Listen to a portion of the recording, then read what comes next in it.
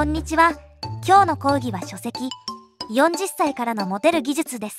この本は40歳以上の男性が恋愛の場でどのようにして魅力的になるかを指南する内容となっています。著者の青木一郎氏は IBM 出身の恋愛コンサルタントであり自身も49歳で24歳年下の女性と結婚した経験を持っています。この書籍は特に中年男性が直面する恋愛の壁を乗り越えるための具体的な方法を提供しています。例えば外見の改善会話力の向上そして出会いの機会を増やすための戦略などが含まれています。さてこの本の構成について詳しく見ていきましょう。まず第1章ではモテ親人に生まれ変わるための基本的な考え方が紹介されています。ここでは40歳を過ぎても恋愛の現役でいるための心構えや恋愛で行き詰まる原因について触れています。次に第2章ではおじさん臭い外見を一新するための具体的な方法が説明されています。外見を変えるための意識改革やありのままの自分を受け入れることの心理的な壁についても考察されています。第3章では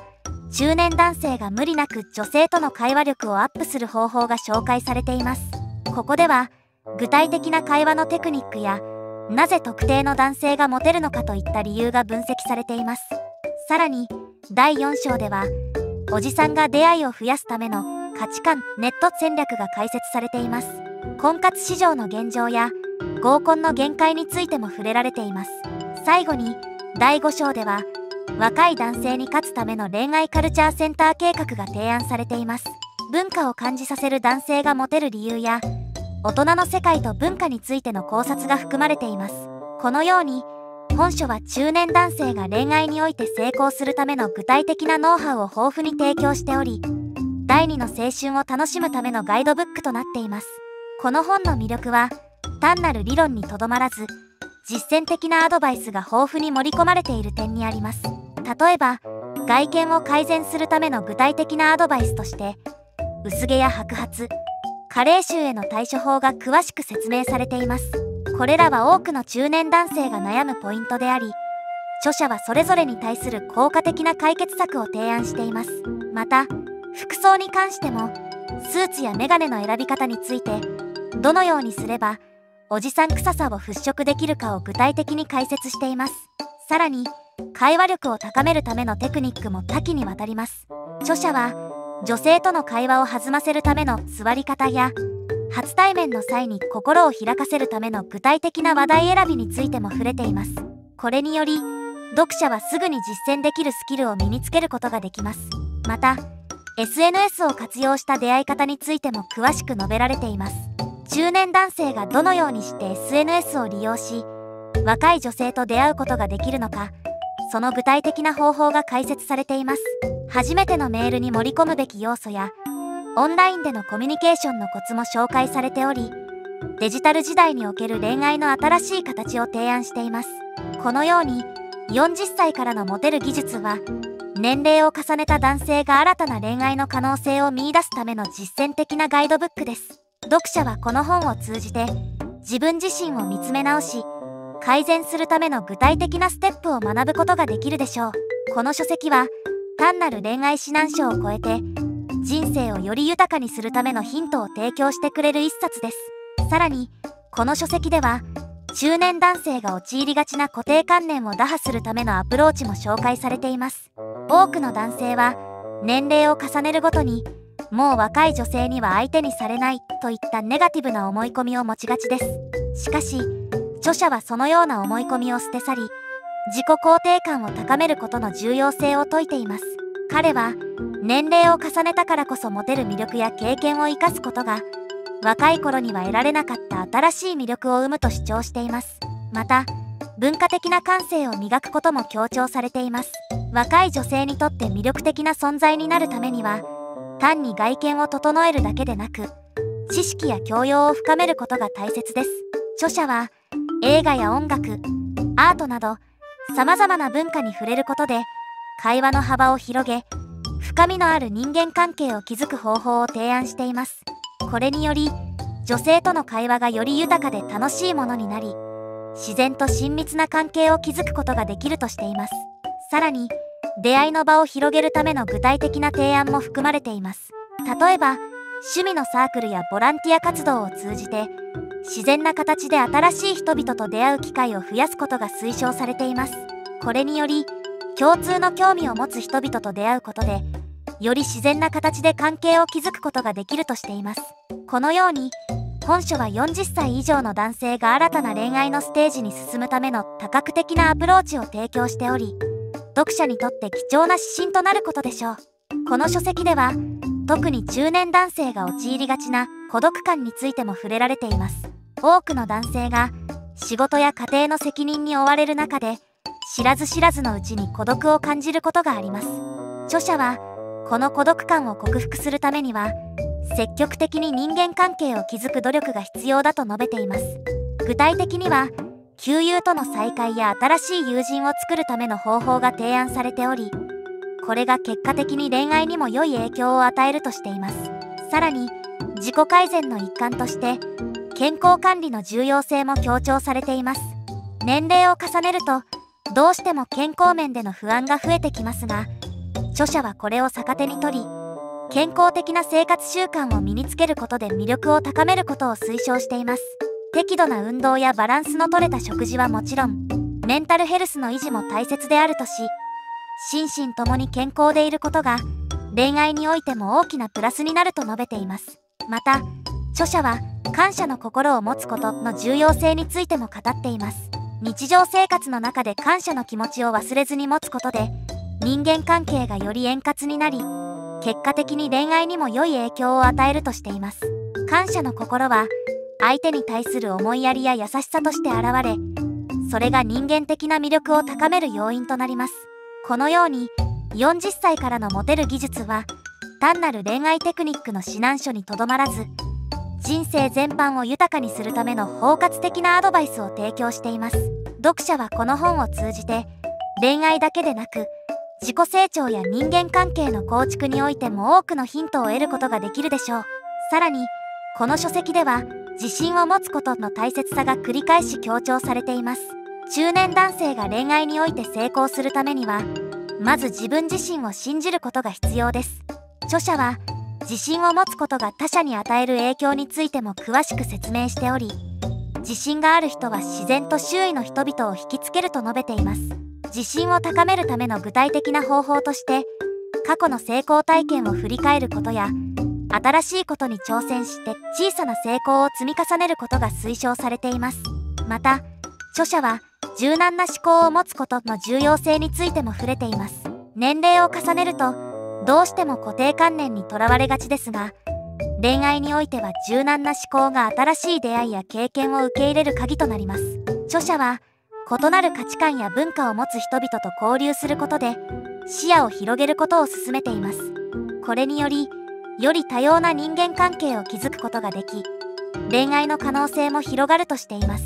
さらに著者は失敗を恐れないことについても語っています。恋愛において失敗はつきものですがそれを恐れて行動しないことが最大の失敗であると指摘しています。失敗から学びそれを次に生かすことでより良い自分になれると著者は強調しています。このように本書は中年男性が恋愛において成功するための心構えや具体的なアプローチを多角的に提供しており読者にとって貴重な指針となることでしょう。この本を読むことで読者は新たな視点を得て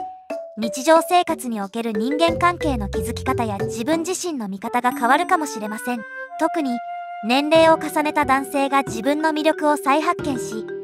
それを活かして新しい関係を築くためのヒントが豊富に詰まっています。これにより自分に対する自信が高まり他者とのコミュニケーションがより円滑になるでしょう。また外見や内面の改善に取り組むことで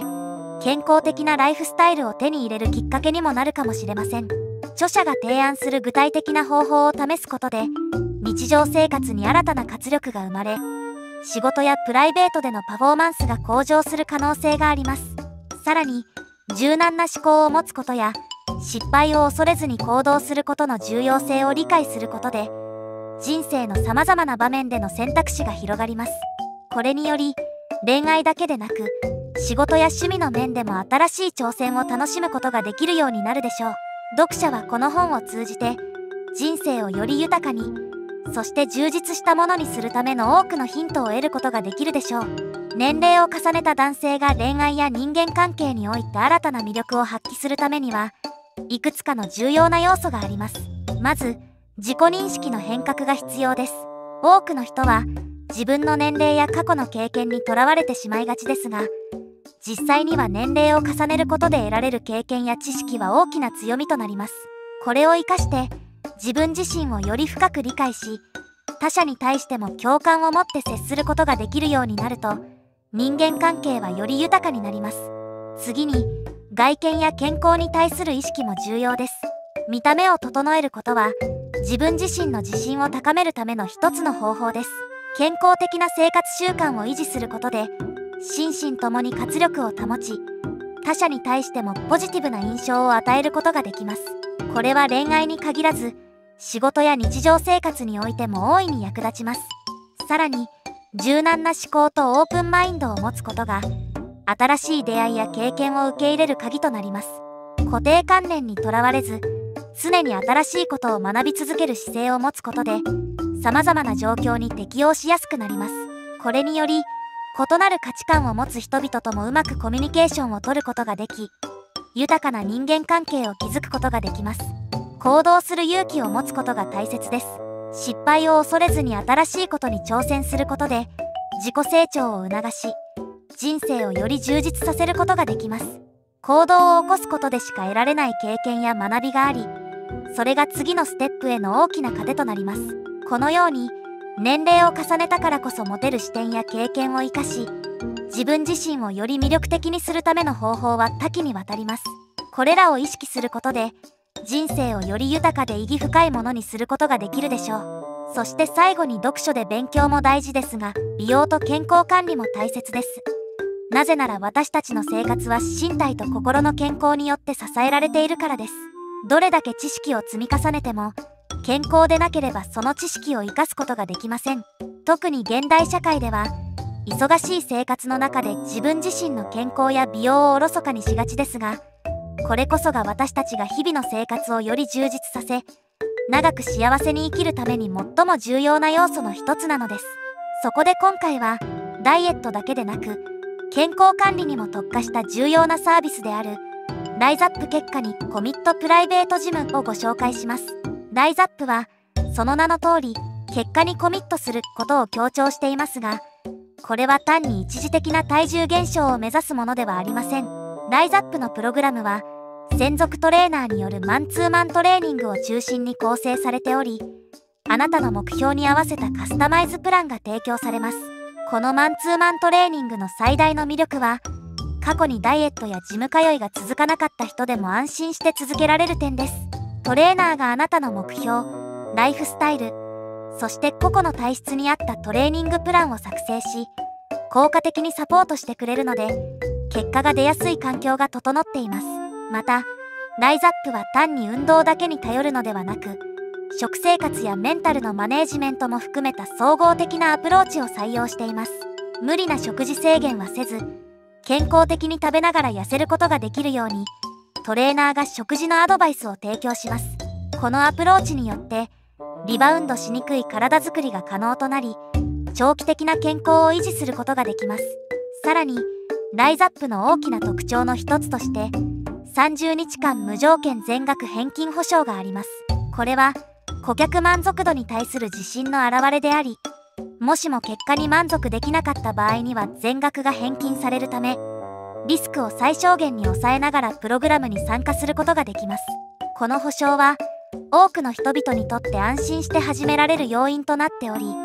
ライザップが信頼される理由の一つです。ライザップのトレーニングは1日50分週に2回の無理のないスケジュールで行われます。忙しい現代人にとって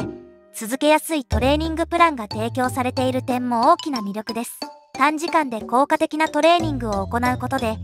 時間を有効活用しながら確実に成果を上げることができます。そして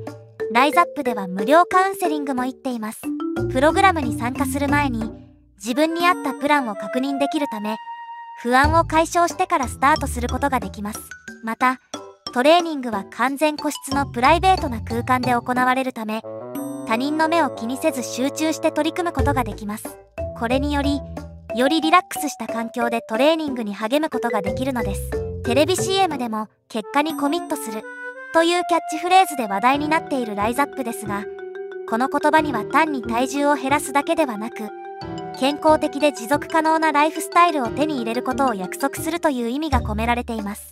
専属トレーナーが作り出すあなた専用のプログラムはあなたの生活を豊かにし理想の体を手に入れるための最適なサポートとなるでしょう。このようにライザップはダイエットだけでなく健康管理にも特化したプログラムを提供しており健康的に痩せ理想の体を手に入れるだけでなく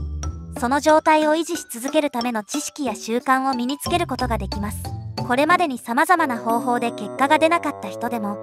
ライザップなら安心して挑戦できるでしょう。気になった方は概要欄のリンク先から詳しい情報をご覧ください。以上で講義を終了したいと思います。最後までご視聴ありがとうございました。チャンネル登録もよろしくお願いいたします。